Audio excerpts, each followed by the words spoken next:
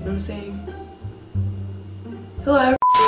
What is up everyone and welcome back to my channel. My name is Tyra, your favorite hype girl. Hey, what's up? Hello.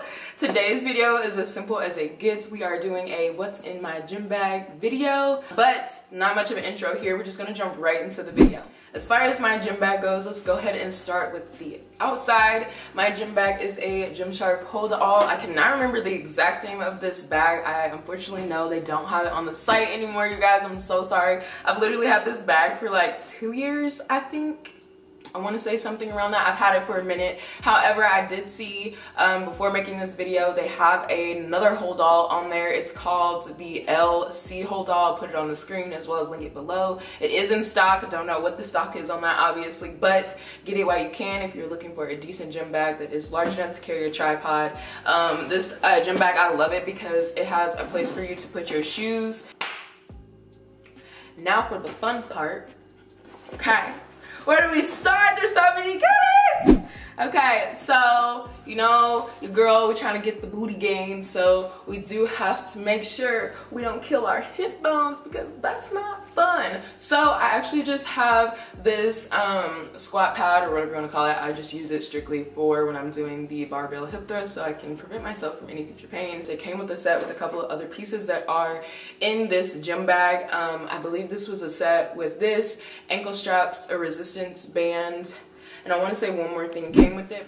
So next what I have in my bag is these are L&A movement bands. This one I believe is the this is definitely the heavy and I do be using this and I, every time I do I struggle I cry I crawl around the floor. Hallelujah. Um, and this I believe is their medium resistance band just as good. Love that. They're very sturdy. They are very strong. I will link them below. Next what i keep in my gym bag is just a backup water bottle. I'm happy it's in there because i know as soon as i take it out will be the day that i don't bring a water bottle. Um, working from home and everything i'm able to um, prepare my water bottle typically before i leave and i do carry that with me to the gym. Next thing that i'm pulling out of my magic bag is a tripod. This is literally the tripod. If you guys follow me on Instagram, this is the tripod I take my pictures with that I do Bonnie and me with. Oh my goodness, Bonnie and me. Um, so I actually got this from Amazon. It does come with like a ring light, a detachable one obviously that you can screw on here. Otherwise, I do film my like YouTube videos with this, but for the sake of like needing the tripod for the video, um, I use my other one.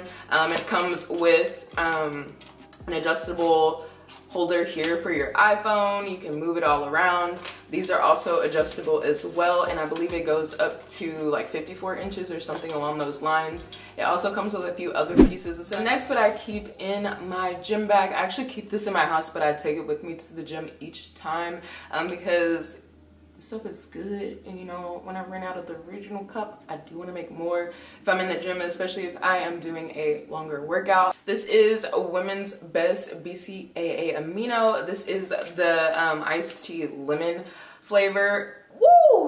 let me tell you if you guys like I think it's um arnold's palmer is the name. If you guys like that a whole vibe i will have the link for you in bio. Um this video is not sponsored or anything by them. However i am an affiliate so if you choose to use my link that does help to support me directly as well as build my relationship with women's best. So what I keep in my gym bag now is some towels. Now, I do keep a couple of these in my bag because um, they do come in handy on the days it might be a little bit hotter in the gym or my pre-workout is slapping a little bit harder than usual. Um, I'm not a fan of having like sweat running down my back so I'm very particular especially if I'm doing like hip thrusts so I'm not sliding around or anything. We almost made it to the end you guys. Like I said before with the squatting pad that I use for my hip thrust um, that came with a whole set. These are the um, ankle bands that that set came with. I actually need some new ones because they are just like ripping the strips. But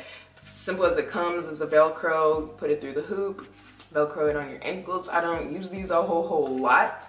But when I do, clearly they don't last very well. But when I do, they come in handy and they're simple. It does have a bit of padding on the inside so it won't really hurt your ankles. I have very tiny ankles and I really haven't had a problem Last but not least, we know, we know what's a gym day without headphones and music, you guys. I well, I leave these in my bag. I will charge them um, like probably once a week and leave them in my bag. That usually lasts me, um, even if I don't use them, because I usually use my AirPods, especially if um, I'm with someone in the gym.